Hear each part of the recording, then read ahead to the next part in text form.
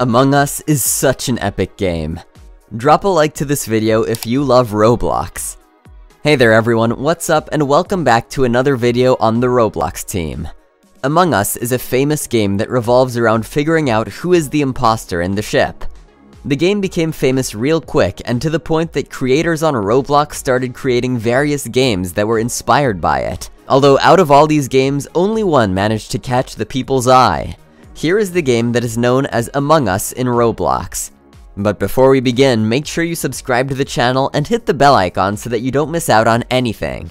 Alright, let's begin. Name Imposter is a Roblox game created by Arcade Rockstar. It is apparently motivated by Among Us, a 2018 game that as of late has gained fame around the world. Gameplay Imposter is a very simple game, just like Among Us. The game takes place in a spaceship slash rocket type transportation, which consists of 4 to 10 players including you. One or two astronauts present on the aircraft is an imposter, while the rest are innocent crew members. The key objective of the imposters are to slaughter every other person without being found out. The rest of the players, aka the crew members, have a slightly different mission, and that is to find out who the imposter is before you get killed. And oh yeah, make sure your tasks are completed. To do this, they need to finish various individual assignments or discover the imposters and vote them out survivor style. If the crew members figure out who the imposters are and banish them out of the ship, the crew wins, and if the imposters figure out how to murder them all, they win. Game details. While crew members have to finish actual tasks, the imposters have to pretend to finish tasks in order to throw off any suspicion. Each player gets the opportunity to call a meeting, or after observing a dead body, report it to every other person.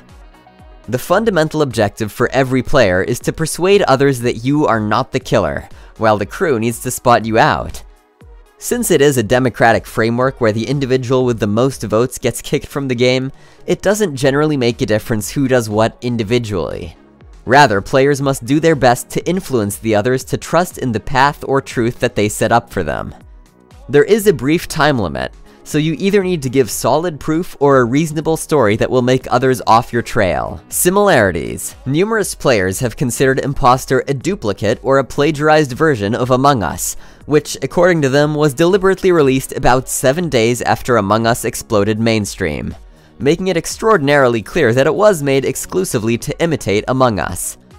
What's unsettling about this is a lot of other games exist that are the exact replica of original games, and yet this sort of strong reaction has never been seen. Criticism by YouTubers. Not only was this game attacked on player forums, but also on streaming platforms like YouTube. The situation became more tense after a famous YouTuber, Koneko Kitten, wrecked the game in his video on his opinions about the game.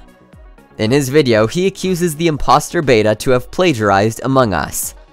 Koneko also provided evidence and data about how the game was undeniably like Among Us, sparking controversy in the Roblox forum too. Discord attack. From YouTube to Roblox to Discord, people decided to go after this game, quite literally.